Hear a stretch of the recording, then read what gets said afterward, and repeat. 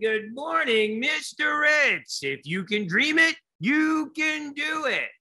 Faith and integrity, lifelong learners, global leaders, Serviam changes lives. And I am delighted to be with you here today to be creating a better world long ago in a galaxy far, far away. That is actually a field of lettuce that I grow with my students. And we are the people who go from can't and won't to must and done daily. And we do it with a smile. I'm the teacher who takes classrooms and turns them from this to this and have been innovating with all kinds of growing technologies with students all around the world. So, all of us, we are foodies, we are farmers, we are solutionaries, we are passionate people, community leaders.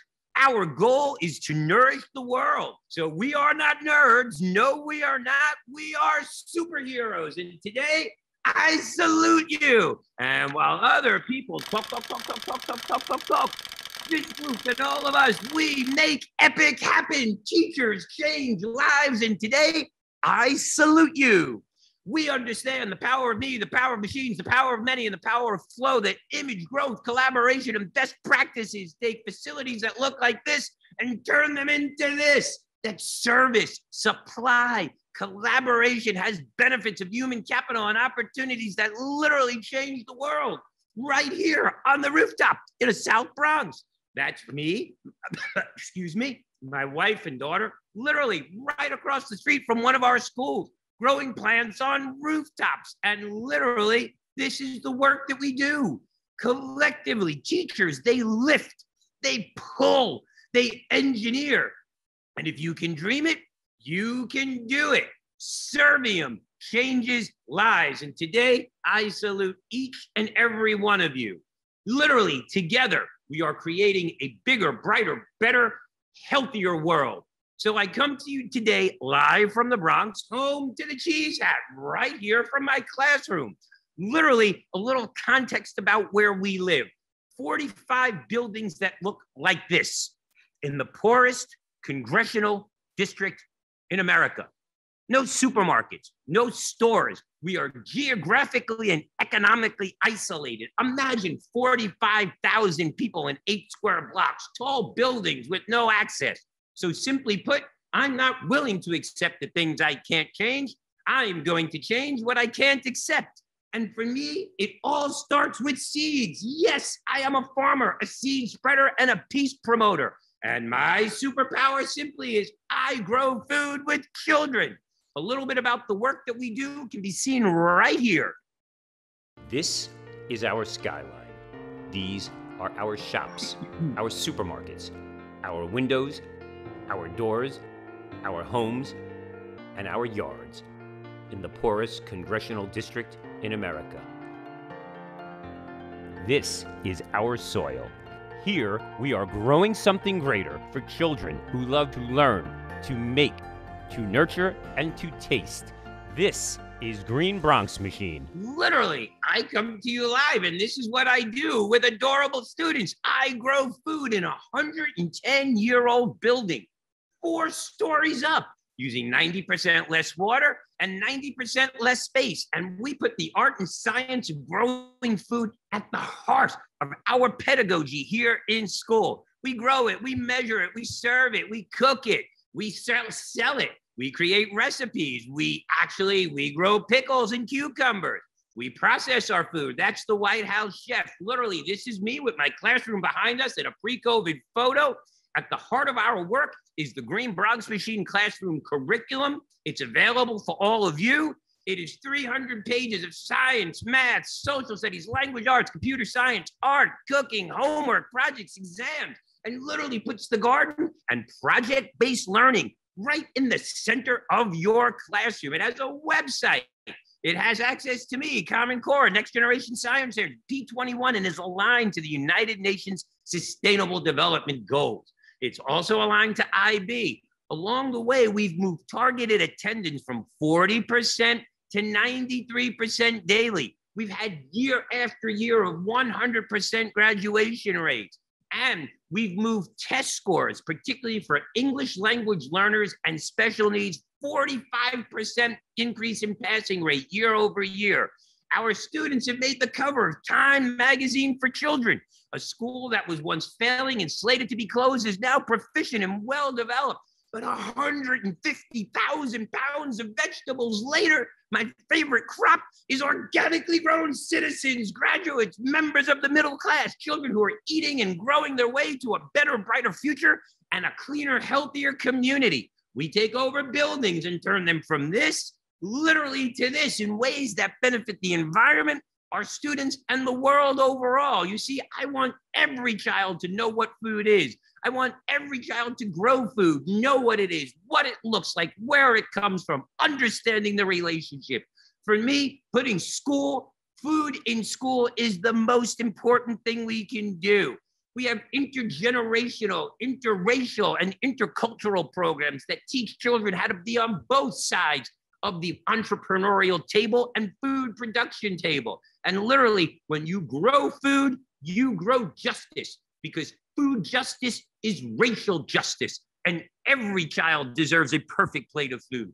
And let me be clear the most important school supply in the world is food. We can't teach children who are hungry and malnourished. We can't teach children who are hopped up on sugar and caffeine. And along the way, my students take over lots from this and turn them into this from a movement to a market that builds value for all, or as I like to say, a si se puede moment. Because if you can dream it, you can do it. Because for me and for us in the South Bronx, where we have everything to gain and nothing to lose, business as usual is no longer an option. To think that there are more people eating themselves to death around the world than are hungry, and that both sides of that coin have to relate to food access is critical. Critical. And the bottom line is this: food sells. If you put fresh, healthy food in communities, my students and I show up and sell it and move it. People relish it. We're using all kinds of innovation to grow something greater.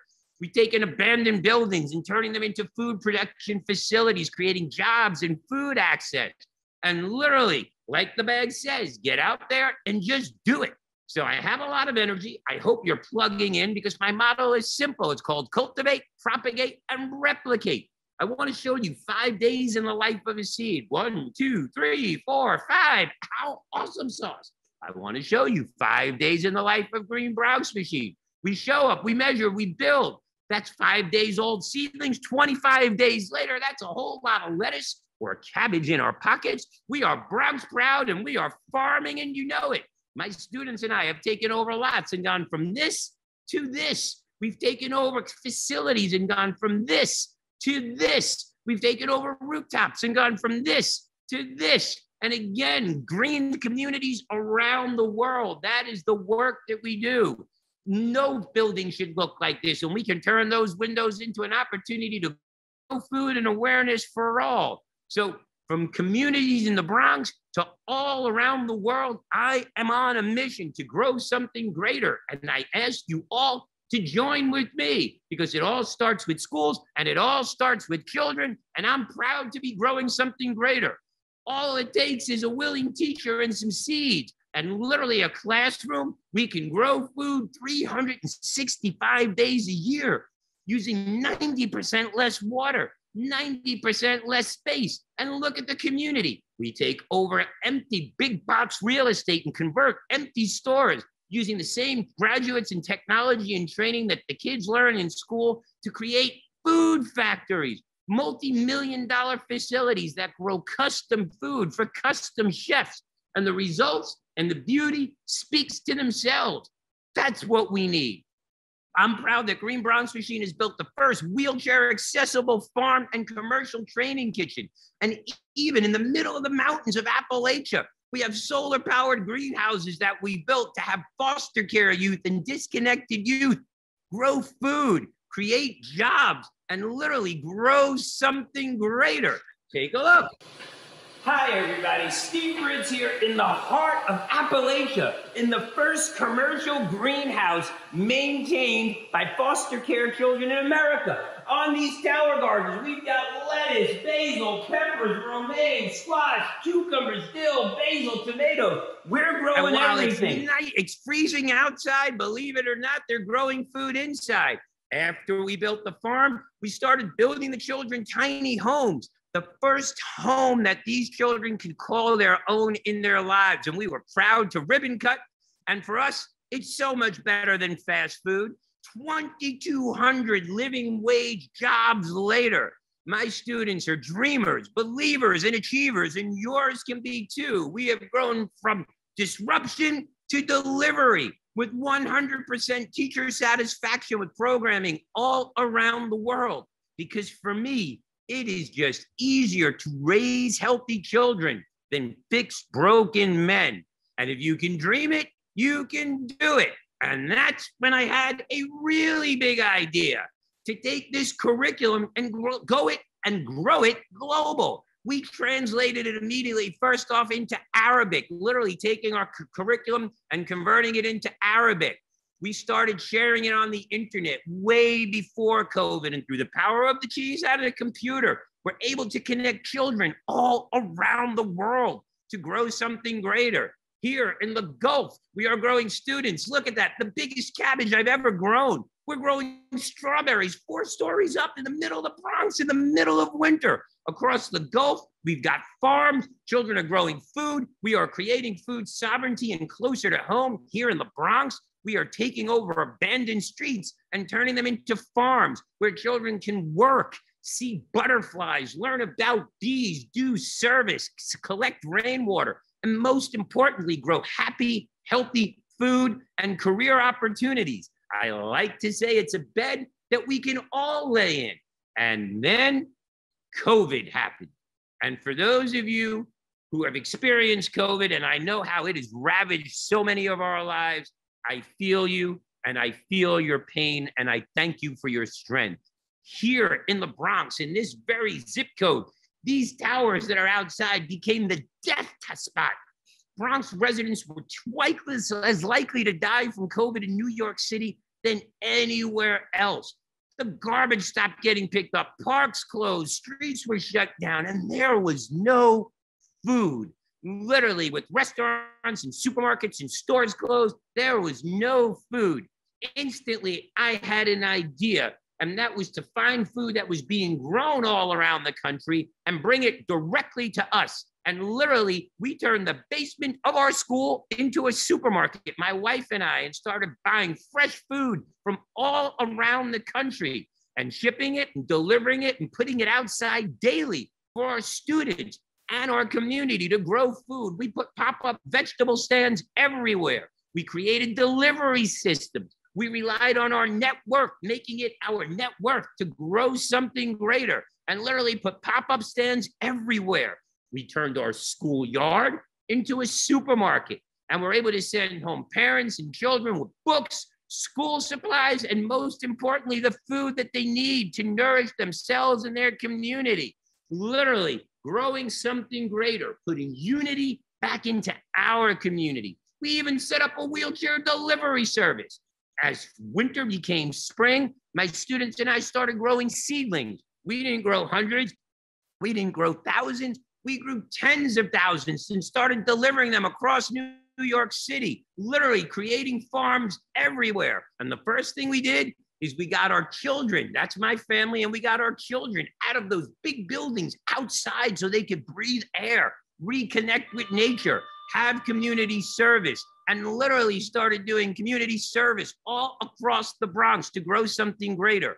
And this is what we grew beautiful, happy children, lots of flowers, happy neighbors, community, lots of edible food. We even put solar panels in our gardens so that gardens can become the new hotspots for internet connectivity. As summer moved into fall, we realized we still needed to grow food. So we started looking into classrooms and basements and literally started creating underground farms that looked exactly like this. Literally building farms underground in one day that had 2,200 plant ports, literally in a sealed room with LED lighting. And wouldn't you know, 60 days later, Wow, it was raining tomatoes right in the basements of New York City. School didn't open, and like so many of you, we had to continue going remote. And I turned my home and my living room into my classroom and literally brought in my garden, my puppets, my farms, my favorite books. The one thing we did different is we brought in a chef and I would teach school, and we would have a chef teach children how to cook with the very groceries we had delivered either to the school or to their home the day before. And first, we had 10 children online. Those 10 brought another 10. Those 10 brought another 10. And before you knew it, we had thousands of people cooking online with us and literally started thinking about how we could grow food schools didn't open and we wanted to start connecting children with online virtual learning experiences and created all sorts of characters that the children became and literally launched a TV show to bring our children and learning all around the world. And we called it Let's Learn with Mr. Ritz. Welcome to my class, students. Hi, Mr. Ritz. Hello, Mr. Ritz. Ahoy, Mr. Ritz. Hi, Mr. Ritz. Hi, Mr. Met. Jason Latimer, the world champion of magic.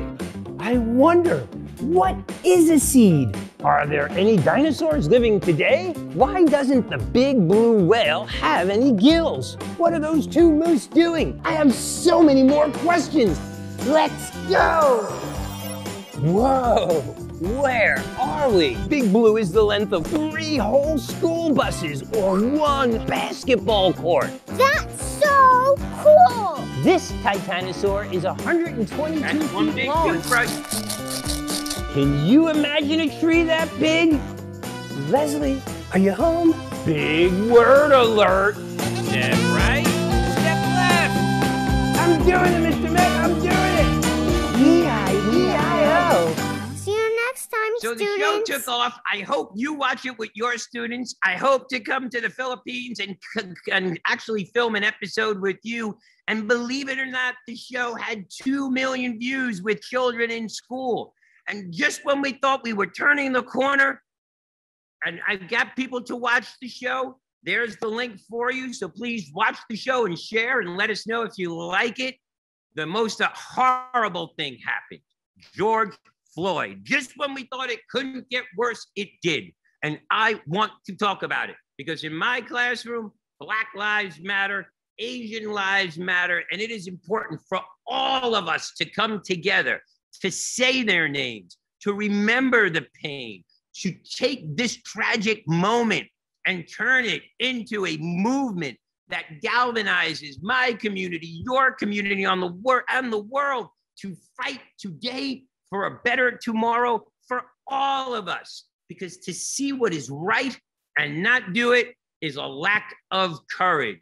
So we were proud to paint the streets in our community Black Lives Matter. And I urge all of you to get behind fighting racism and not only ethnic racism, environmental racism, social racism, and economic racism. And the beauty of plants and growing plants with children is that plants work hard for everybody and the planet. They're equal opportunity. So instead of desperately seeking the light at the end of the tunnel, I urge all of my teachers and colleagues to be the light inside of our tunnel. Let your classrooms be beacons of hope, beacons of opportunity, and illuminate the way for our children and our colleagues. And I'm proud to say that this is the work that Green Bronx Machine did in our community, not some days, but every day, making sure every child and every member was nourished. Because if you can dream it, you can do it. I'm so proud in 2021 that Green Bronx Machine did the following. We were the Social Impact Award winners according to Classy for 2021. And I couldn't be more proud. And if I can, you can.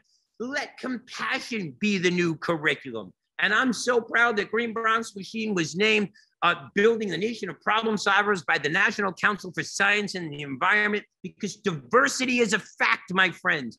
Equity is a choice. Inclusion is an action. Belonging is an outcome. And we all yearn to belong. And for me, Green Bronx Machine is for life. So get with the program. And that's why I scream education, not asphyxiation, because it is a moral responsibility to breathe life into everything that we do. And even though schools were closed in 2020 and for part of 2021, I'm proud that Green Bronx Machine was named a global showcase school. Literally, a community that was struggling to survive has embraced green initiatives and has moved from surviving to thriving. This is not Photoshop. This is 24 days on a farm, rooftop, using 90% less water. And while people say money doesn't grow on trees, I've met children who are allergic to vegetables, but nobody is allergic to money. And growing food is a license to print money.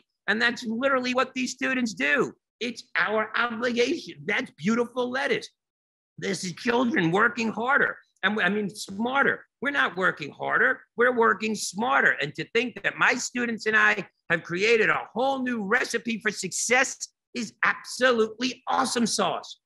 Collectively, we are ordinary people living extraordinary lives. And it's our jobs as parents, as educators, as aunties and uncles and grandparents to steward and shepherd our children to a better, brighter future. And this is the excitement that they see when they get to grow food in class, the participation of growing something greater. As little Julian says, it's about a growth mindset.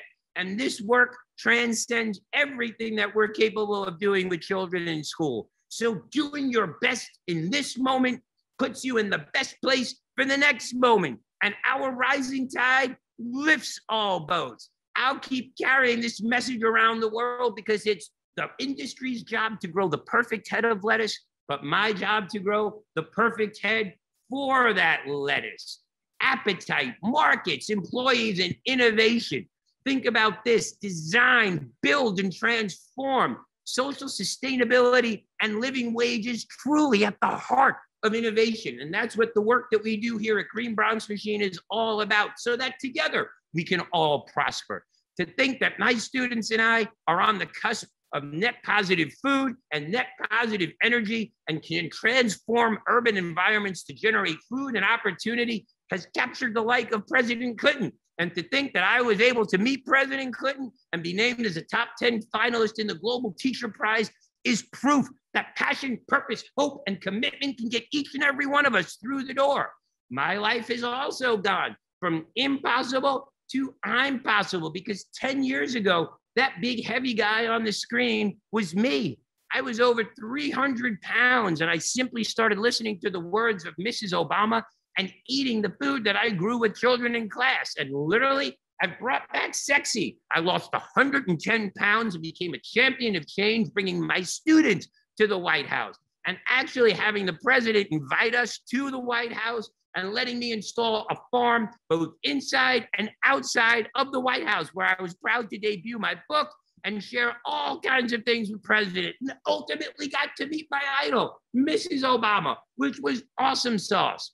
Along the way, Green Bronx Machine has won the top wellness award in New York City we have an Emmy Award show, episode 808 of Growing a Greener World. I ask you all to watch it. We've become identified as a top 10 health and wellness program in the nation. And remarkably, for three years in a row, we've been a top 100 educational program in the world. We have gone from hope to His Holiness the Pope. And yes, I was invited to meet Pope Francis and share my story with him. And my story is your story. It is a si se puede. Past does not equal the future story. For those of you who know the legacy of the South Bronx, this is the community I was a part of. These are the streets that I walked on as a young man. And to think that I'm now using 90% less water to grow food in this very community and have overcome obstacles such as these is proof that this memory is nothing more than a photo on the wall. And my class and my students have gone on to success and success and success. It's one big show and tell. We've even put a model of our classroom in the US Botanic Gardens. So, where am I going next? Who knows? But I love to do it with my cheese hat. And remarkably, through Global Teacher Prize, I found myself in the middle of the desert. And we had a vision to create the first sustainable city in the world. And this is not a virtual image, this is the real deal inside those biodomes. We are growing food. It is two degrees cooler there than anywhere else in the UAE, and we are growing 1 million plants per month with students in school. Literally, the first net power positive solar powered school in the world, which has gone on to win award after award after award. So, for all my colleagues, I urge you to define and set your goals. Learn from mistakes. Don't be afraid to fail. Keep motivated and stay the course. This, I tell my students each and every day that they are my little princes and my little princesses. And when I was a little boy, The Little Prince was my favorite book.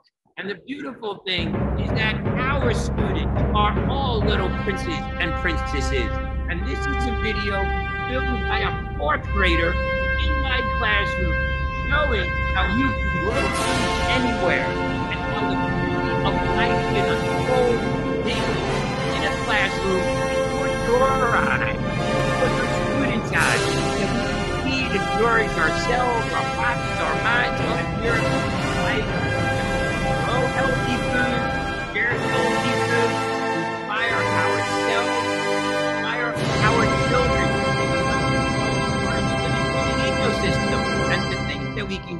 with a cheese hat and a bow tie is awesome sauce. So no one can do everything, but everyone can do something. And that's my call to action to all of you because you don't have to be great to start. I'm still not a good farmer, but you have to start in order to be great.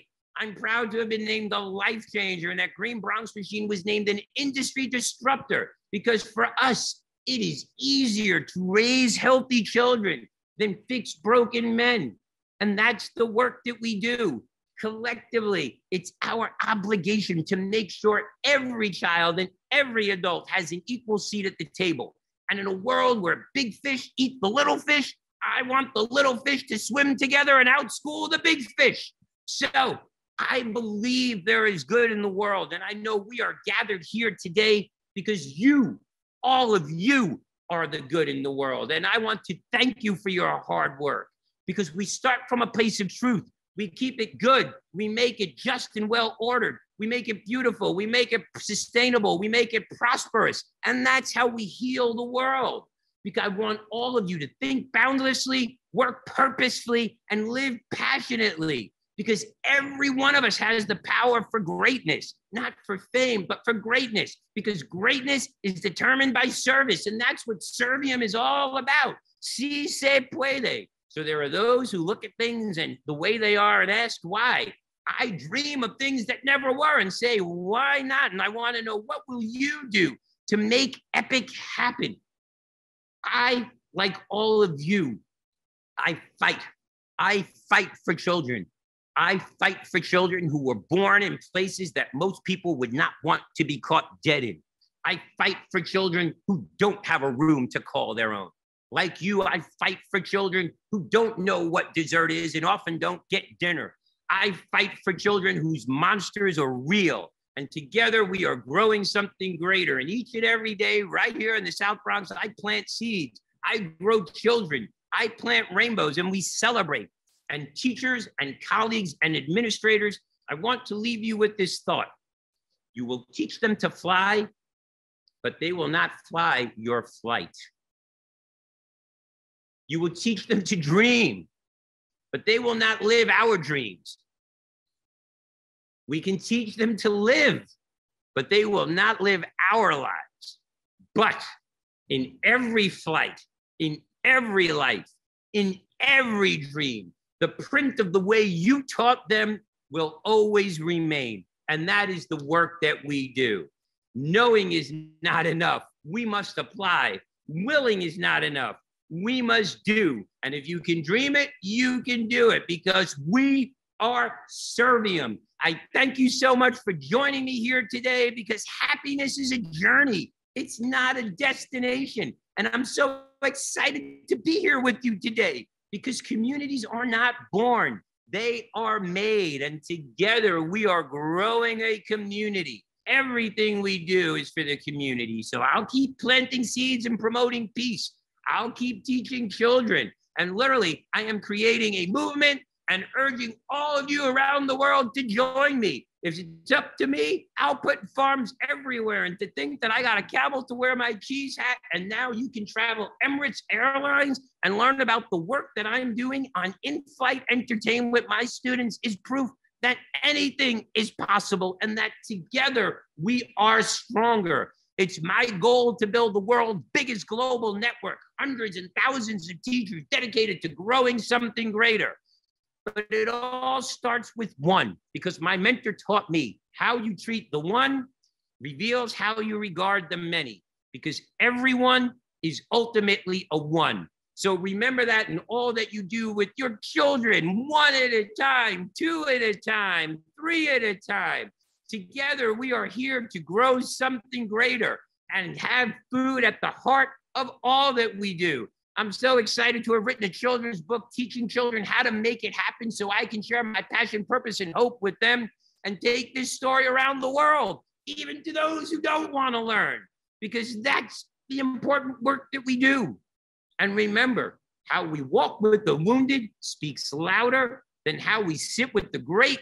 I urge each and every one of you to do something today that you and your future self will thank you for. The past does not equal the future. You should never, ever, ever give up.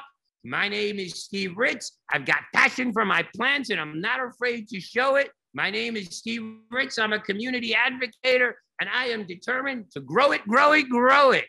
Please check out a copy of my book, The Power of a Plant. Watch our TV show. And remember, if you can dream it, you can do it. I've given you a great toolbox here today. There are great resources for all of you at the Green Bronx Machine website. And of course, at our YouTube channel, where you can watch everything and see all of our videos and learn more. And my goal to ask you is what will you do to make epic happen? See you next time. Thanks students. kindly. You can follow me here and thanks so much for your time today. My name is Steve Ritz. Thank you. So long.